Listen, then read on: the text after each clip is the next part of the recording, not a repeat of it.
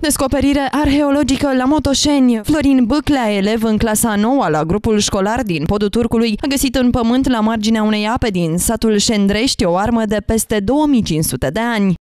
Este vorba de o piesă din fier, după cum vedeți, destul de mare, are 71 de centimetri, cu tăiș dublu, cu o nervură pe mijlocul lamei, cu un mâner decorat cu niște striuri, capetele îndoite. Este așa tipul numit de pumnal cu antene, că seamănă cu niște antene trase înăuntru. Mai sunt și pumnale cu bara dreaptă, cu bara dreaptă, deci pumnal cu bară. Vreau să spun că asemenea piese mai sunt descoperite în județul Bacău. Chiar în comuna Parince mai avem două piese asemănătoare.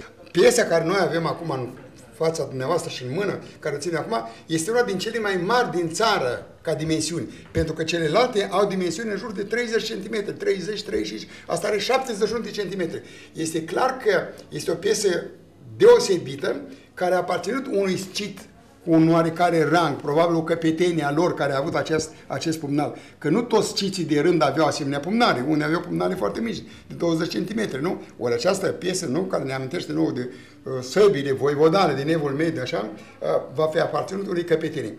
Deși Muzeul de Istorie Iulian Antonescu mai deține încă două piese asemănătoare descoperite la Nănești și Milești, specialiștii spun că această spadă este una dintre cele mai mari din țară descoperite până acum.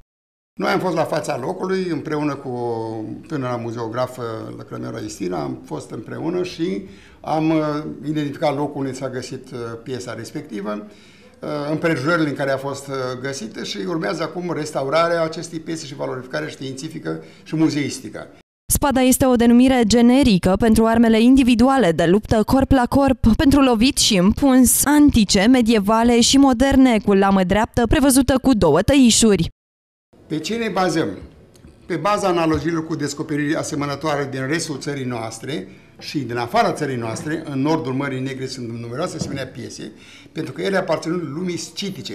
Ele sunt cunoscute încă din vremea lui Herodot, deci secolul V înainte de Hristos, Herodot le descria aceste piese, aceste arme scitice și le numea pumnale de tip achinaches. De ce în literatură de specialitate noi numim aceste piese de tip achinaches.